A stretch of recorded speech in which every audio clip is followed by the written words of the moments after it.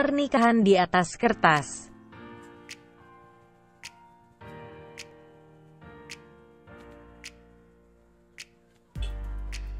Jangan lupa subscribe ya, dukungan kalian untuk berkembangnya channel novelku. Jangan lupa tersenyum. Kamu berhak bahagia, setidaknya untuk orang-orang yang kamu sayangi. Jangan lupa jaga kesehatan ya.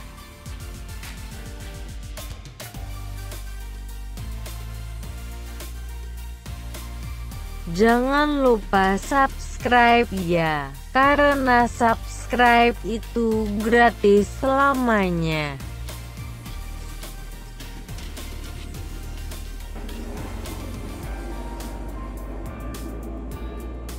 Chapter 54 Mohon maaf pak, sepertinya bisa tapi akan memakan waktu yang lama pak.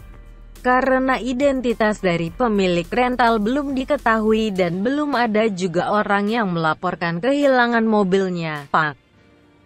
Jelas Din. Fauzan mengepalkan tangannya dengan murka. Ini salah satu cuci tangan yang sangat baik menurut Fauzan. Tapi hal itu tidak akan membuatnya menyerah. Itu sama sekali bukan karakter hidup seorang Fauzan. Tapi beruntungnya, saat saya menuju parkiran, saya melihat seorang bapak-bapak sedang mengumpulkan berkas berupa foto mobil untuk pelaporan kehilangan mobilnya saat disewakan. Jadi saya pikir gak ada salah untuk saya mengikuti bapak tersebut, Pak. Bagus, lalu bagaimana hasilnya? Dalam waktu dua hari, polisi sudah menemukan mobil orang tersebut di tengah hutan, Pak. Dan seperti dugaan sementara, mobil itu juga menggunakan plat nomor palsu yang sama seperti plat mobil yang ada di rekaman. Siapa orang yang merental mobil itu? Tanya Fauzan penasaran. Dua orang laki-laki, Pak. Berdasarkan dari KTP berdomisili di Jakarta, Pak. Tapi sayangnya saat alamat dilacak, alamatnya palsu. Tapi Bapak tenang aja, polisi sudah mengerahkan bantuan untuk melacak dari wajah si pelaku dari foto di KTP, Pak. Fauzan mengangguk-anggukan kepalanya mengerti.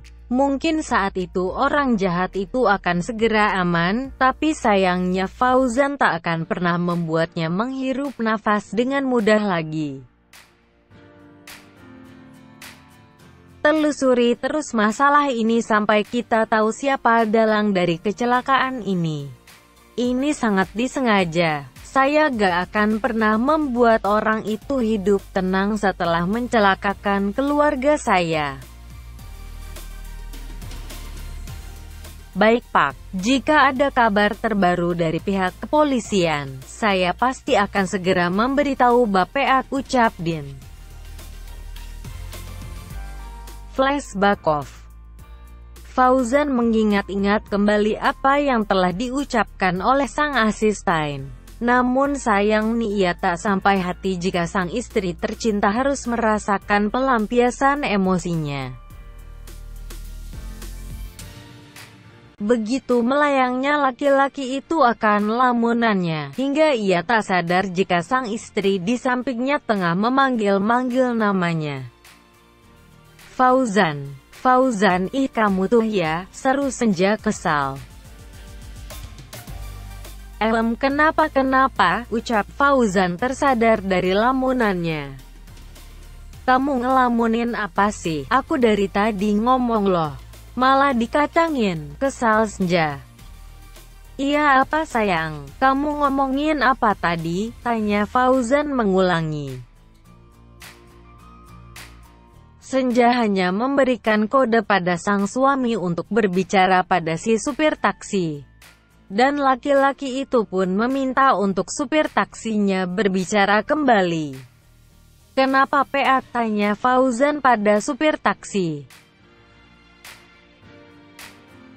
Maaf pak, kita ke pom bensin dulu ya PA taksi saya kebetulan hampir habis bensinnya tadi belum sempat isi bensinnya.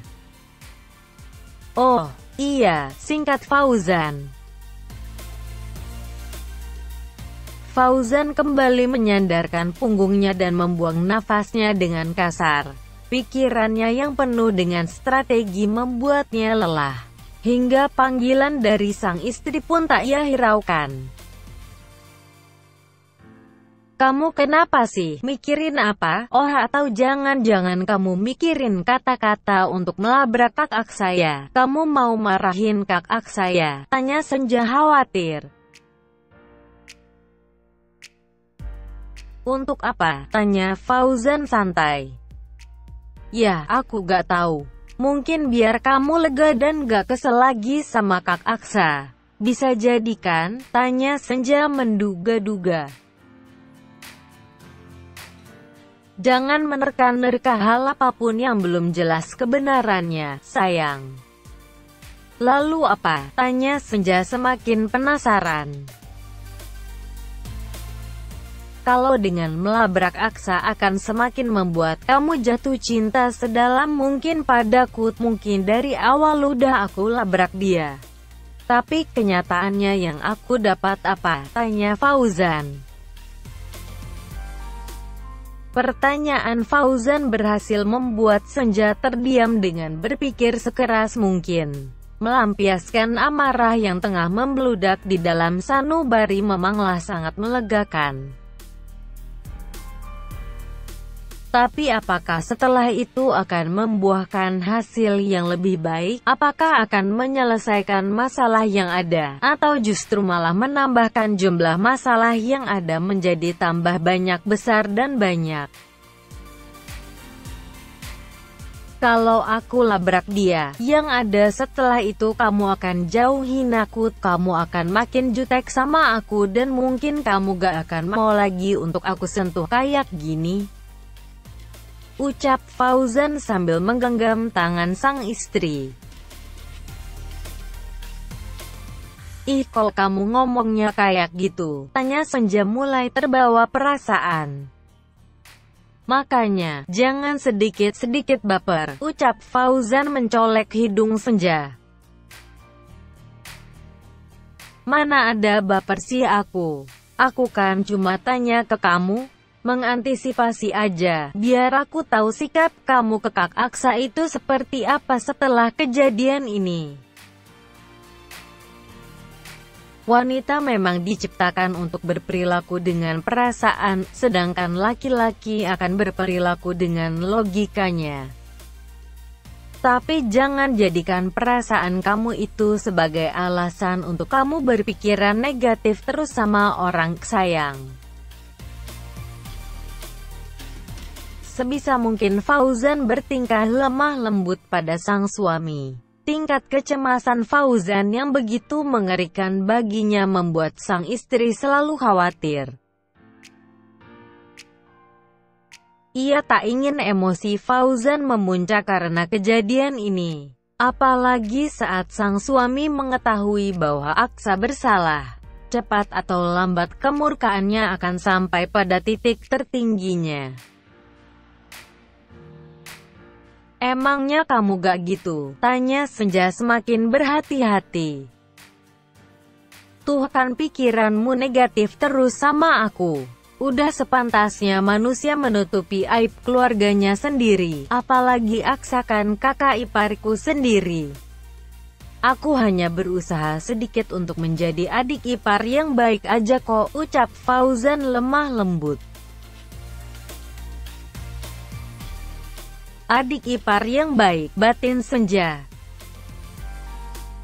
Sejak kapan Fauzan menganggap bahwa Aksa adalah kakak iparnya? Bukannya selama ini di antara mereka tidaklah pernah akur. Bagaimana Senja tahu?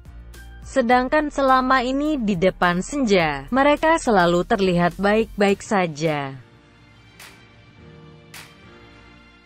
Tentu saja dari sikap keduanya, Ketika saling di depan berhadapan satu sama lain, mereka selalu terlihat baik-baik saja. Tapi jika saling di belakang, mereka saling menghasut Senja untuk bisa berlomba agar mampu mempengaruhi Senja. Semua orang punya kesalahannya masing-masing. Punya kadar kefatalannya masing-masing. Udah ya, jangan dipikirin lagi, ucap Fauzan menyelipkan rambut senja ke belakang telinganya. Senja terpanah dengan perlakukan sang suami. Dengan kedipan matanya begitu tajam dan mempesona, lagi-lagi Fauzan berhasil memenangkan argumentasi mereka. Sekarang jangan mikirin apa-apa. Aku gak akan ke mana-kemana dan gak akan melakukan apa-apa juga. Fokus kamu cuma untuk anak kita. Aku gak mau sampai terjadi hal buruk pada anak kita. Kamu dan anak kita juga sangat berarti untukku, ucap Fauzan mengelus perut senja. Tapi aku pengen tahu apa yang akan kamu lakukan setelah ini, please jujur sama aku, seru Senja memohon. Aku akan melakukan. Fauzan menjeda ucapannya saat ia sadari taksinya sudah sampai di depan rumah Agnes. Aku akan melakukan pembayaran atas ongkos taksi ini dan segera masuk ke rumah Agnes. Ya ampun, punya laki kok nyebelin amat begini sih ya.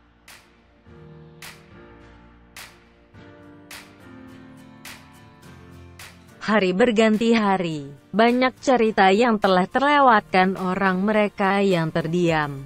Sayangnya mereka yang bergerak pun juga tak bisa menahan laju embun untuk membasahinya. Setiap masalah yang tersembunyi, telak akan menemui jalan keluarnya pula. Tak seperti semula, mudah dan tenang untuk mengumpat. Karena mereka yang bersembunyi juga ingin terselesaikan. Atau bahkan mungkin digantikan dengan masalah yang baru lagi.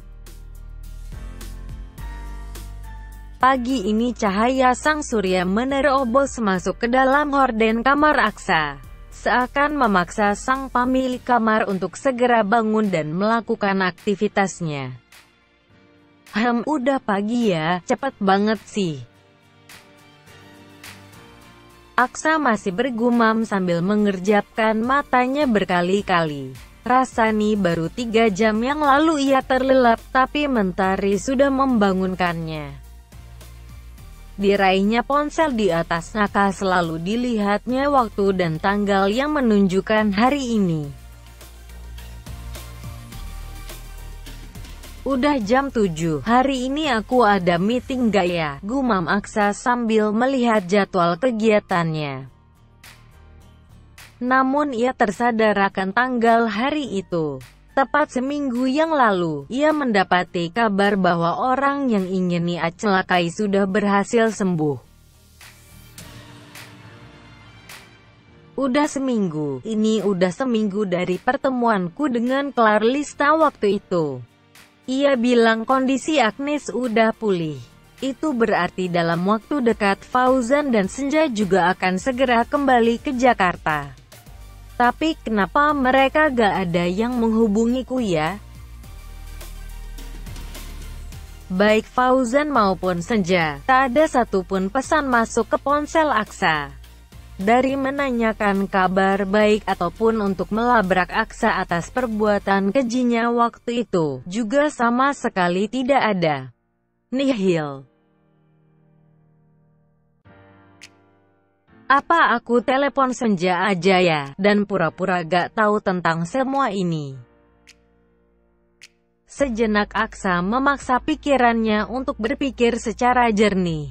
Meskipun saat ini ia terlihat begitu sangat aman. Tapi setidaknya ia juga harus mengetahui tentang hal yang saat ini terjadi pada adiknya. Dipilihnya kontak nomor Senja, sang adik yang kini menjadi kunci hidupnya.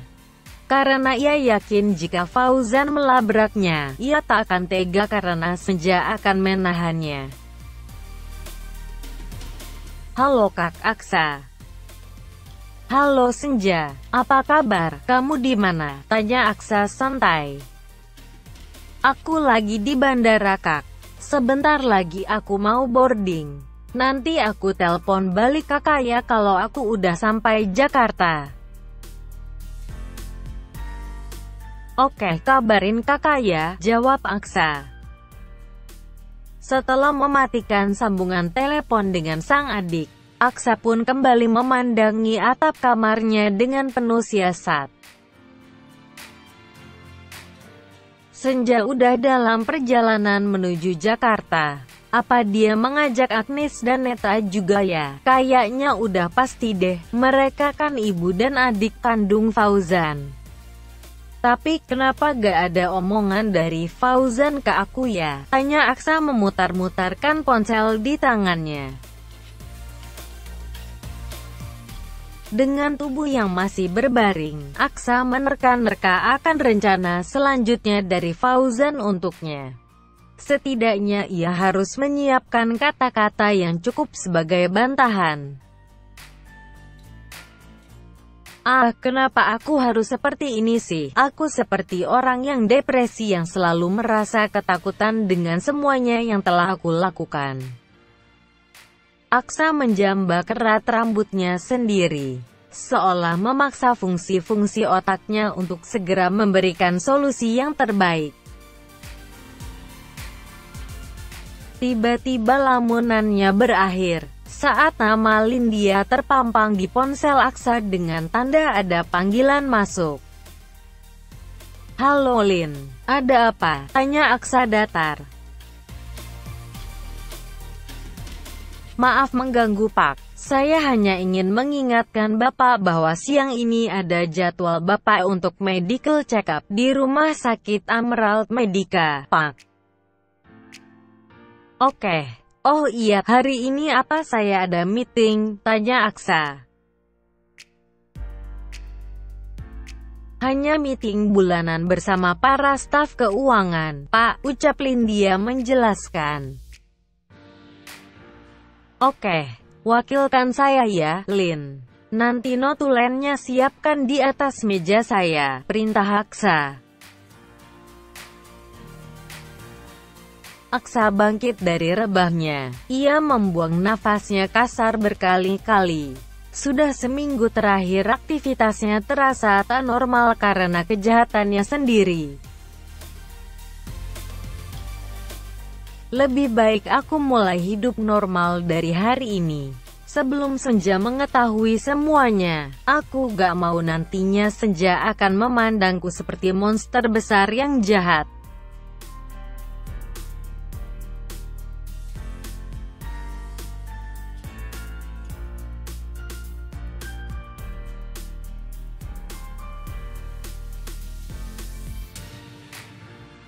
To be continue.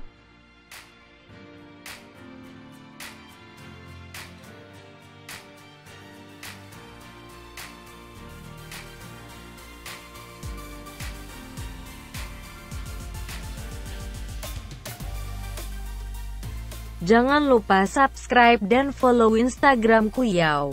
Jaga kesehatan selalu.